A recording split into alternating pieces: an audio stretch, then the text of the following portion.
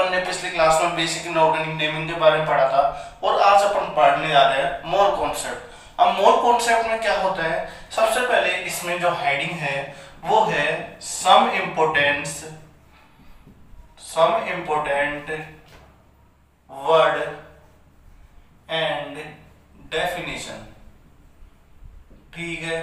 या फिर some important words and definition है।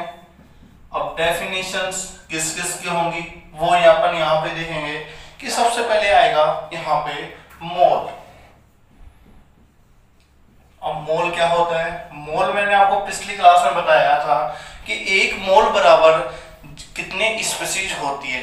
यह एक केमिकल क्वांटिटी होती है और यह जिस प्रकार से एक दर्जन बराबर 12 स्पीसीज होती है, उसी प्रकार एक मोल बराबर यहाँ पे होते हैं six point zero two two into ten to the power twenty three species तो आप ये लिखे यहाँ पे, यह एक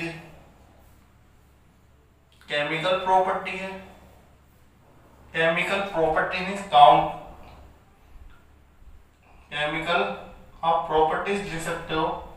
प्रॉपर्टी भी नहीं लिखो तो आप यहाँ पे लिख सकते हो काउंटिंग केमिकल काउंटिंग ठीक है? केमिकल काउंटिंग यूनिट है। ठीक है? जिस प्रकार से अपन मास की यूनिट लेते हैं केजी में लेते हैं, जो लिक्विड होता है, उसकी यूनिट किसमें लेते हैं? लीटर में। उसी प्रकार से यहाँ पे मोल की है यूनिट किसमें आने वाली है? एक मोल बराबर, यानी ये केमिकल काउंटिंग काउंटिंग है काउंटिंग यूनिट है। तो अपन यहाँ पे देखते हैं। तो यहाँ पे जिस प्रकार से अपन देखे एक दर्जन बराबर ट्वेल्व स्पीसीज, यानी वन दर्जन is equal to twelve species. उसी प्रकार, यानी सिमिलरली लिखो यहाँ पे सिमिलरली यानी उसी प्रकार। One mole is equal to six point zero two two into ten to the power twenty three species ठीक है स्टूडेंट तो आप ये बात भी अपने नोट्स में नोट करें। ये ट्वेंटी थ्री है, अच्छे से नोट करना है इसको। अब आगे अपन देखने वाले हैं कि मोल जो होता है, उसके किस टाइप के क्वेश्चंस आते हैं। तो सबसे पहले अपन यहाँ पे बेसिक से देखने वाले हैं। इसका जो फ़र्स्ट एग्जांपल है यदि आपको कोई बोल दे, जैसे कई आपको बोलते हैं कि आप पाँच दर्जन केले लेके आओ तो आपको पाँच दर्जन लाना है तो आप कितने लाओगे?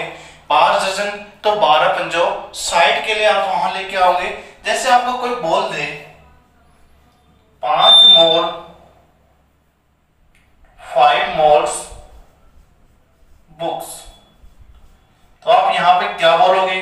फाइव मोल्स बुक्स आ गया। इसका मतलब पाँच मोल किताब। पाँच मोल किताब आ गई तो इसका मतलब यहाँ पे अपन इसको बोलने वाले हैं सीधा। पाँच मोल किताब, एक मोल में मैंने कितने बताए थे? Six point zero two three into ten to the power twenty three books हो जाएँगी।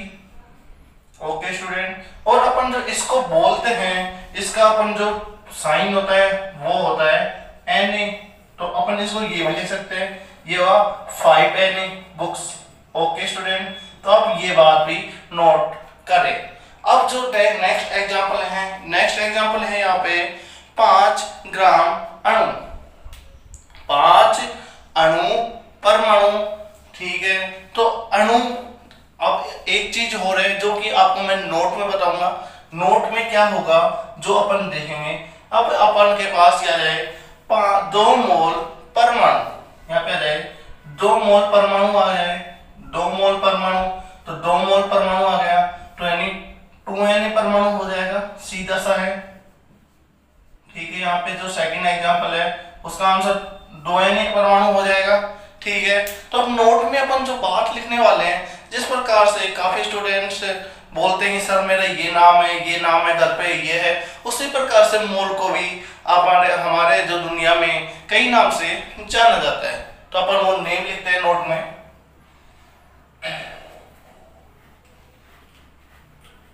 आप वीडियो पॉज करके प्लीज़ इसे नोट कर लिया करो, जिससे कि आपका टाइम बचे और मेरा भी टाइम बचे।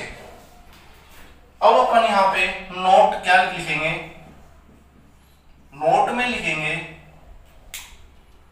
मोल को आजकल मोल शब्द का आजकल मोल शब्द का प्रयोग शब्द का प्रयोग ग्राम अणु ठीक है ग्राम आयन ठीक है ग्राम परमाणु ये तीन नाम है ये तो ग्राम मोलिक्यूल ठीक है ग्राम मोलिक्यूल हो गया उसके अलावा हो गया ग्राम हो गए ग्राम एटम ग्राम एटम हो जाएगा एक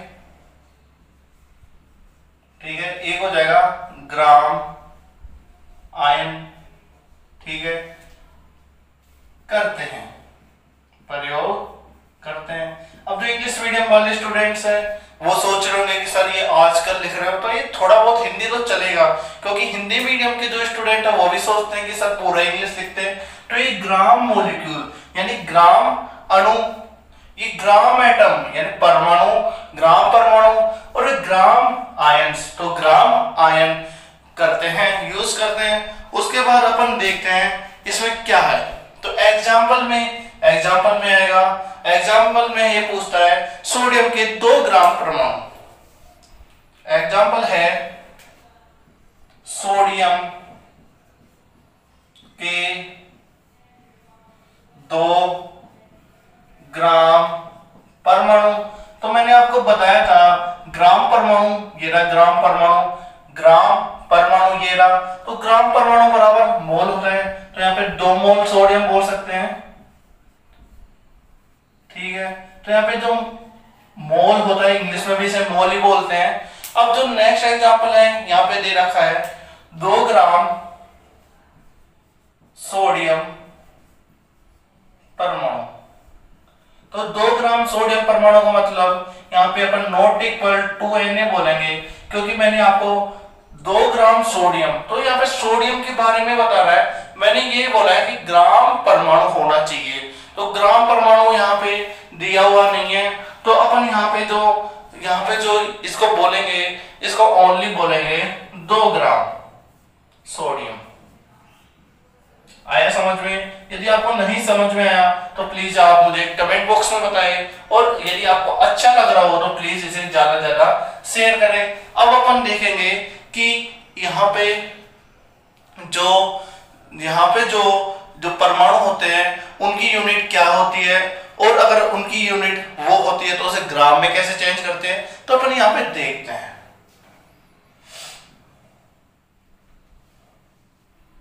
वीडियो पॉज करके नोट कर लिया करो।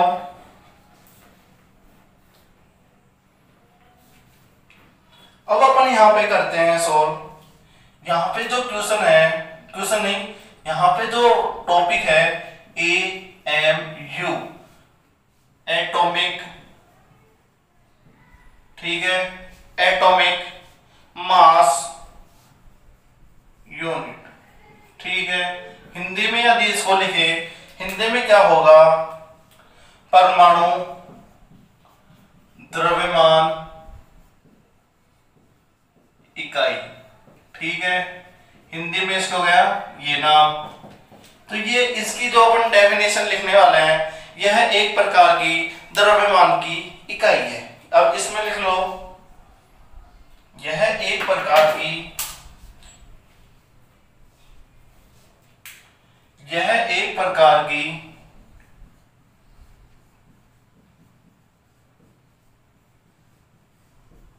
यह एक प्रकार की द्रव्यमान की इकाई है। यह आपको नाम से भी पता चल रहा होगा। द्रव्यमान की इकाई है। तो जिस प्रकार अपन एक के जी बराबर क्या बोलते हैं? दस, एक हज़ार ग्राम। उसी प्रकार वन ए एम यू बराबर भी कितना होता है? 1.16 वो 67 into ten to the power minus twenty gram.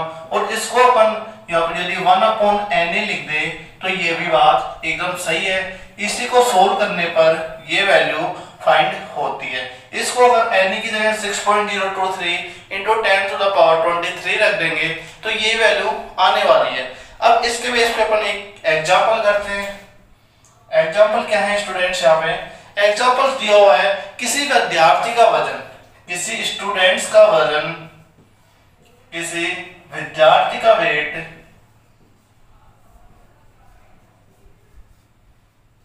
ठीक है?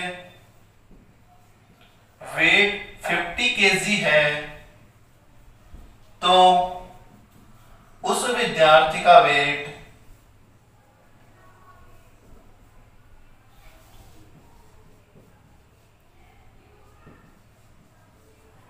ईएमयू में फाइंड करें ठीक है ये सिंपल सा क्वेश्चन है अब इसे कैसे फाइंड करेंगे वो अपन देखते हैं आप इसे वीडियो पोस्ट करके भी पहले सोल्व कर सकते हो यदि आपको नहीं समझ में आए तो प्लीज़ अब देखें। आगे क्या है? अब इसमें देखते हैं। आप लिख सकते हो एक के जी बराबर हज़ार ग्राम। तो पचास के जी बराबर कितना होने वाला है? पाँच, पचास हज़ार ग्राम। ओके? और एक ग्राम बराबर मैंने क्या बताया one point six seven into ten to the power minus twenty four gram. ये मैंने वन ए एम टू बताया है। और यहाँ पे ये वन अपॉन एन ए के इक्वल होता है ग्राम के। तो यहाँ से one gram is equal to क्या आएगा? E M U into N A equal to one gram one gram ये आ गया तो वन ग्राम यहाँ पे पचास हज़ार ग्राम की वैल्यू चाहिए, गुणा तो वन ग्राम क्या है? A M U into N A मुझे आप पे पूरा विश्वास है कि आपको ये समझ में आया होगा। यदि समझ में नहीं आया तो प्लीज़ एक बार दोबारा से देखें। दोबारा से देखते हैं इसको। कि एक के जी बराबर क्या होता है? हज़ार ग्राम। तो पचास के जी बराबर कितना आने वाला है? पचास हज़ार ग्राम। अब यहाँ से अपन देखते हैं कि वन ग्राम यहाँ से देखते हैं। यहाँ से one gram is equal to क्या आएगा? One gram is equal to आने वाला है N A into A M तो अपन यहाँ पे वन ग्राम इक्वल टू यह गया अपन को कितने ग्राम का वेट चाहिए? पाँच हज़ार ग्राम के। तो पाँच हज़ार ग्राम का वेट चाहिए तो क्या हो गया? पाँच हज़ार N A into A M U यहाँ से ये फाइंड आ गई। आप यहाँ पे वैल्यू भी पुट कर सकते हो। ओके तो अपन आगे देखते हैं। आगे इसमें है परमाणु क्रमांक, यानी एटॉमिक नंबर उसकी डेफिनेशन देखेंगे। डेफिनेशन होती क्या है? उसके बाद अपन आगे उसके बारे में स्टडी करेंगे।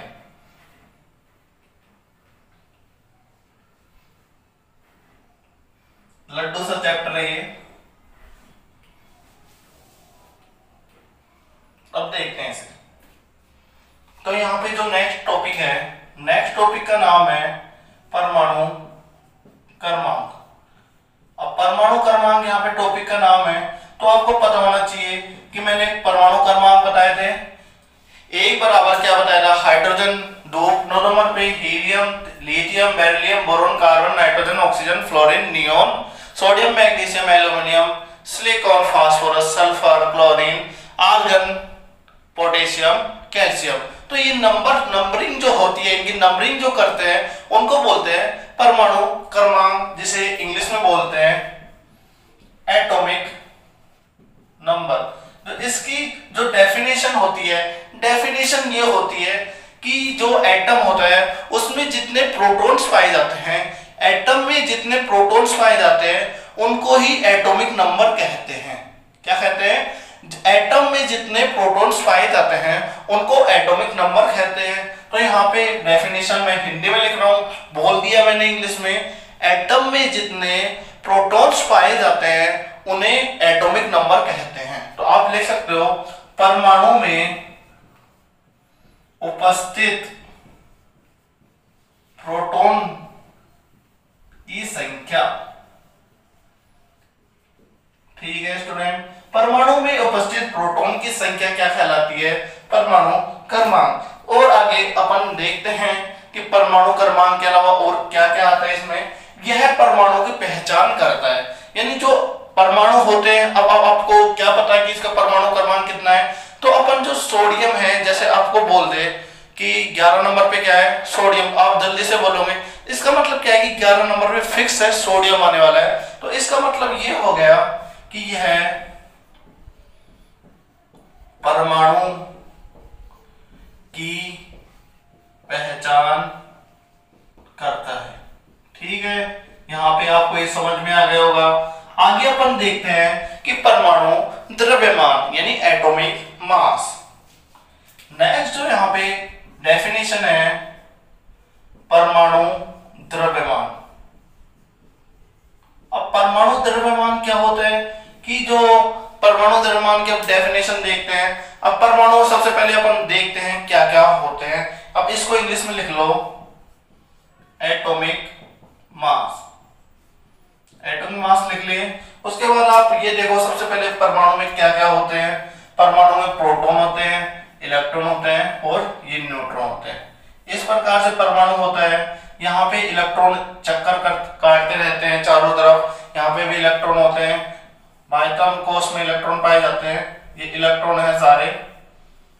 ठीक है? उसके अलावा जो नाभिक में स्थित होता है, वो होते हैं प्रोटॉन्स और यहाँ पे होता है न्यूट्रॉन।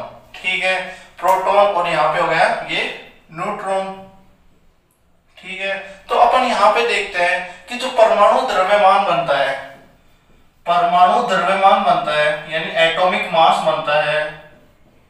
एटॉमिक मास क्या होगा? एटॉमिक मास का जो फॉर्मूला होगा समीशन ऑफ़ प्रोटॉन यानी जितने भी यहाँ पे प्रोटॉन होंगे, उनका योग, और जो समीशन ऑफ़ न्यूट्रॉन यानी न्यूट्रॉन का एड और समीशन ऑफ़ इलेक्ट्रॉन उसमें कितने प्रोटॉन है, कितने इलेक्ट्रॉन है तो इन सबको मिला के परमाणु द्रव्यमान बनता है। ठीक है? तो आगे अपन देखते हैं आगे क्या है इसमें।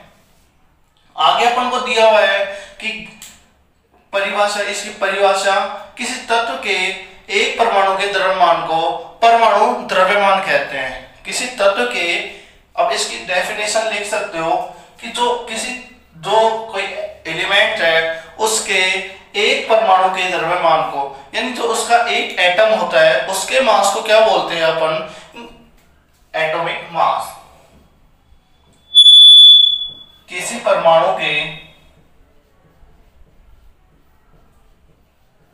एक, किसी, ये परमाणु नहीं है सॉरी यहाँ पे किसी तत्व के एक परमाणु के भार को ग्राम अणुभार कहते हैं। यानी भार को क्या बोलते हैं? परमाणु भार बोलते हैं। परमाणु भार कहते हैं। ठीक है तो यहाँ परमाणु भार की डेफिनेशन हो गई। अब आगे अपन देखेंगे कि ग्राम परमाणु भार क्या होता है। तो अपन यहाँ पे टॉपिक का नाम लिख लेते हैं। ग्राम एटॉमिक मास तो आप इसे वीडियो पॉज करके नोट कर सकते हो। ये लड्डू से है यार सारे। आप एक बार पढ़ोगे तो आपको ये याद होने वाली है, क्योंकि ये बहुत ही, यानी बेसिक चीज़ है। आप ये याद हो गया तो आपको मोर कॉन्सेप्ट थोड़ा थोड़ा आएगा। आगे अपन देखते हैं, ठीक है?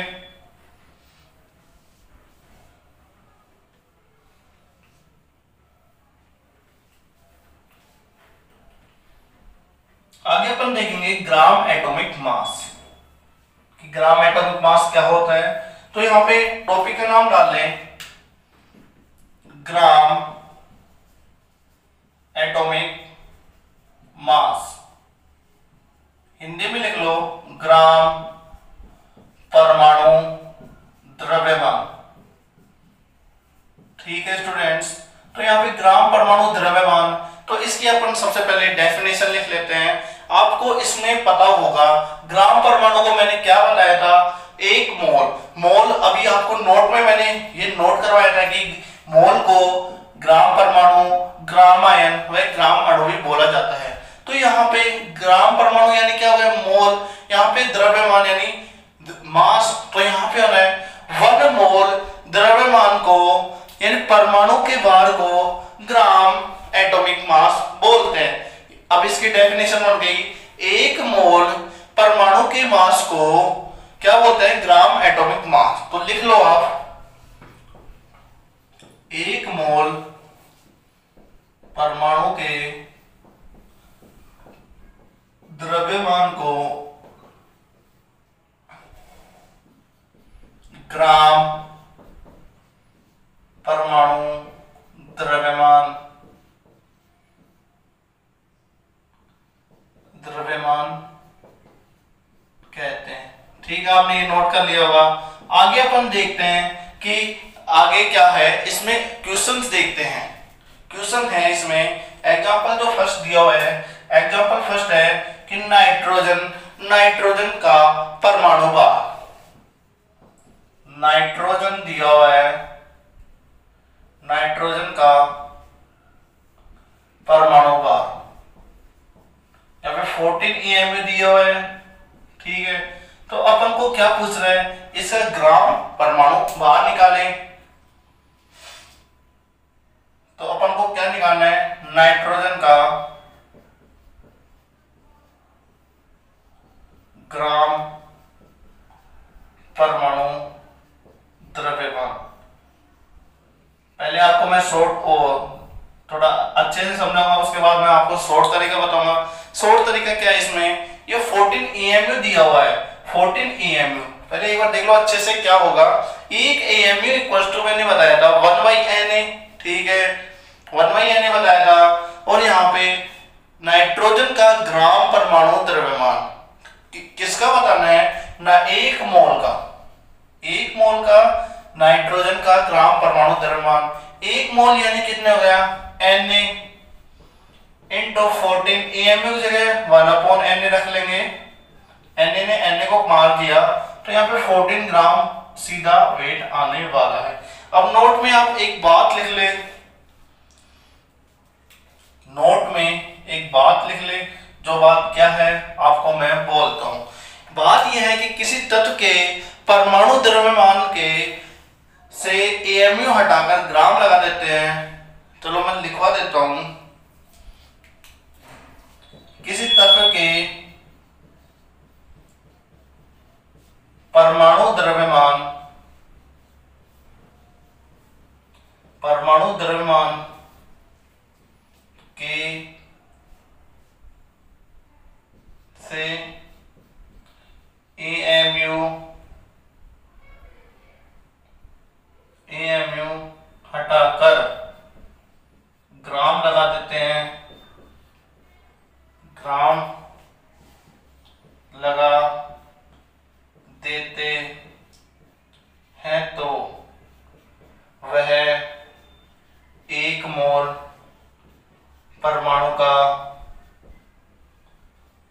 द्रव्यमान हो जाता है यदि अब इंग्लिश में देखें तो इंग्लिश में क्या बोलेंगे कि यदि इफ़ इफ़ जो एलिमेंट है एलिमेंट है उसके यदि जो उसकी मैंने जो यूनिट बताई थी एएमयू होती है यदि एएमयू को वहाँ से हटाकर यदि ग्राम लगा दे तो वहाँ पे वन मोल एटम का यहाँ पे क्या आने वाला है मास आने वाला है यही इस नोट में मैंने लिखवाया है। तो आप प्लीज़ इसे वीडियो पोस्ट करके इसे नोट कर सकते हो। उसके बाद अपन यहाँ पे देखने वाले हैं। अगला जो है टॉपिक अब जैसे समस्थानिक भी होते हैं, समस्थानिक अलग अलग यानी एक परमाणु के अनेक समस्थानिक हो सकते हैं। जैसे हाइड्रोजन के तीन समस्थानिक होते हैं, उसी प्रकार क्लोरीन के भी दो समस्थानिक होते हैं। तो अपन उनका जो वेट कैसे फाइंड करेंगे? तो उनका वेट फाइंड करने के लिए अपन जो मेथड यूज़ करेंगे औसत परमाणु बार एवरेज एटॉमिक मास जो कि अपन यहाँ पे फाइंड करने वाले हैं। तो आप देखिए क्या होगा। अब पहले, सबसे पहले अपन देखेंगे ग्राम एटॉमिक मास का फॉर्मूला औसत परमाणु भार का, जो कि एवरेज एटॉमिक मास होता है, उसका फॉर्मूला क्या होगा?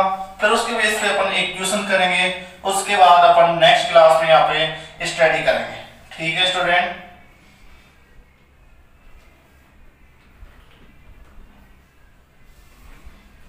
अब यहाँ पे अपन देखते हैं अब आगे लिखते हैं, आगे जो टॉपिक का नाम है, औसत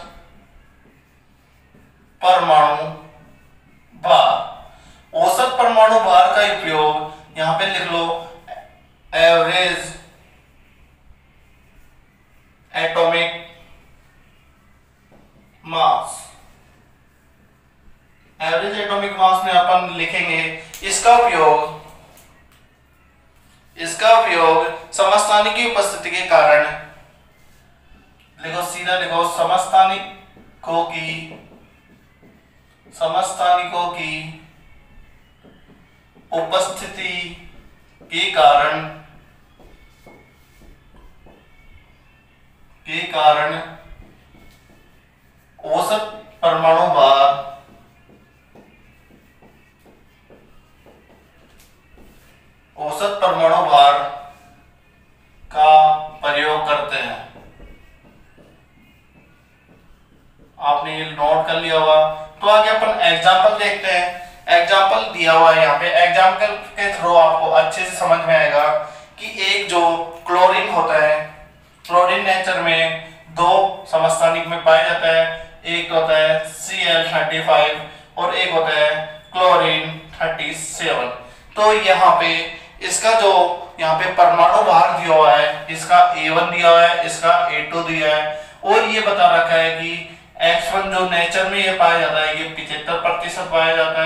ये X2 यानी इसका जो ये 25 प्रतिशत पाया जाता है। तो इसके लिए फॉर्मूला क्या बनने वाला है? औसत अणुभार का फॉर्मूला होगा। औसत अणुभार अणुभार परमाणु भार परमाणु भार का जो फॉर्मूला होगा, क्या होगा? A one X one plus A two X two आप इसे नोट कर ले, याद भी कर ले। A two X two up to ये थ्री भी आ जाए फोर भी आ जाए फाइव भी आ जाए तो इस प्रकार अपन आगे तक इसे सोल्व कर सकते हो। अप टू तो ये हो गया औसत परमाणु बार का फॉर्मूला तो आप इसे कॉपी में नोट अवश्य करें, क्योंकि ये काफ़ी जगह काम में आने वाला है। तो अपन इसको यहाँ पे इस फॉर्मूले के थ्रू इसे सोल्व करने वाले हैं। इसे सोल्व अपन इधर की साइड कर देते हैं। इधर इसका आंसर क्या होगा? ए वन यहाँ पे मास बराबर लिखेंगे। ए वन एक्स वन तो ए वन कितना हुआ है? ए वन यहाँ पे क्या है? पैतीस, यहाँ पे सैतीस तो पैतीस गुणा पिछहत्तर प्लस पच्चीस गुणा सैतीस बाई सौ। तो ये वैल्यू अप्रोक्स आएगी सैतीस पचास बाई सो। आप सोल्व करेंगे तो भी ये वैल्यू आने वाली है। तो यहाँ से इसका जो वेट आने वाला है वेट क्या हुआ सैतीस पॉइंट पाँच। अब एएमयू में आएगा, परमाणु का है तो एएमयू में आएगा। यदि आपको एक मोल का पूछे तो एक मोल का कितने आने वाला है? एक मोल का आने वाला है। सॉरी एक मिस्टेक हो गई। मिस्टेक क्या हुई? कि यहाँ पे पैंतीस सौ पचास आने वाला है। तो ये पैंतीस पॉइंट पाँच हो जाएगा। ठीक है स्टूडेंट तो यहाँ पे पैंतीस पॉइंट पाँच हो जाएगा। तो ये यहाँ तक आपको, इस क्लास में मैं आपको बता दिया हूँ। अगली क्लास में अपन देखेंगे कि जो जो परमाणु होते हैं, उनके मैंने एक लिस्ट बनवाऊँगा, जिसमें आपको एएमयू में मास एंड ग्राम में मास यहाँ पे नोट कराऊँगा। आप उनको याद कर लीजिए। वैसे तो ये जो आई जेई का पेपर होता है, उसमें जो ये मास होते हैं, उनको पहले पेज पे ऊपर ही ऊपर लिखा हुआ होता है, जो कि पेपर में जितने भी क्वेश्चन होते हैं, जिनमें काम आता है तो वो सब कुछ लिखा हुआ होता है कि इसका मार्क्स इतना होता है। तो प्लीज़ आप मेरे चैनल पे नए हो तो प्लीज़ चैनल को सब्सक्राइब करें।